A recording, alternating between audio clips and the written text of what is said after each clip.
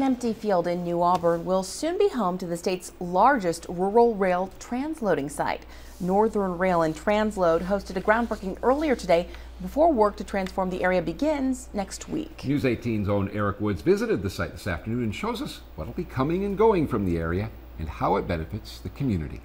The edge of the loop tracks, the northern boundary of the loop tracks are going to be just in front of us, about 50 yards in front of us here. For now, this field is just weeds, but in time, railroad tracks like these will be much more common. We can unload commodities here, we can load commodities here.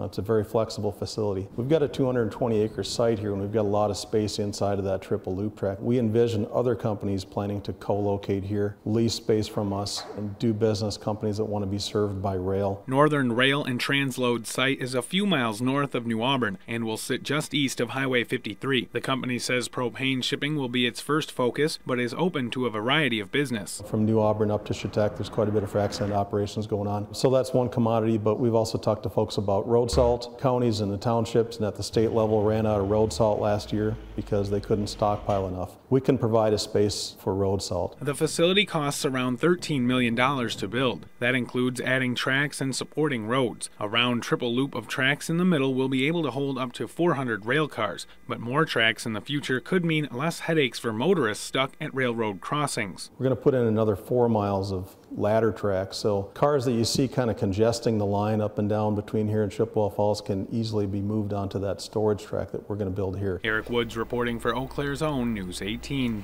Now, ground leveling at the site will begin next week, and Northern Rail and Transload hopes to be shipping propane by November. 20 to 25 new jobs will be filled in order to operate that facility.